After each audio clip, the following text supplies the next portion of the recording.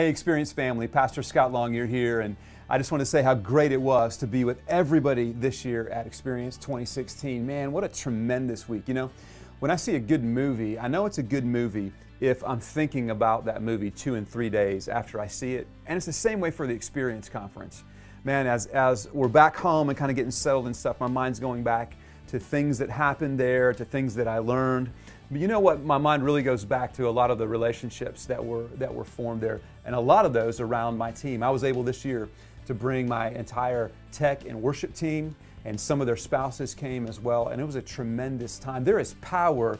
If you've been coming to experience alone, let me just encourage you to tap into the power that comes when your entire team is there.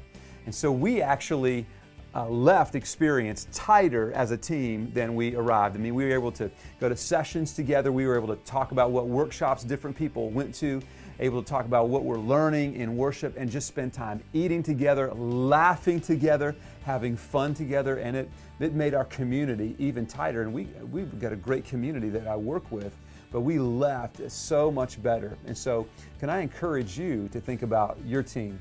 You know, I was I was leaving experience and I was on the plane and I saw a friend of mine who lives in the same state. And I had actually called this friend last year and said, Man, you got to be at the Experience Conference. And so he came. His name's Michael. And so as we got on the plane, I said, Michael, how was your week, man? And he said, Man, it was unbelievable. He said, I just got off the phone with one of my elders and told him, Here are the five people on my team that I want here next year. So let's make it happen.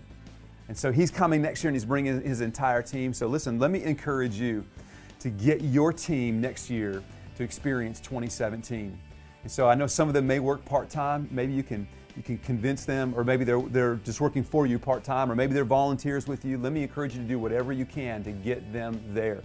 I know it's a cost, and I know a lot of us right now are writing our budgets for 2017. Let me encourage you to put some money in 2017 to get your team to experience, and I guarantee that your team will leave closer than when they arrived.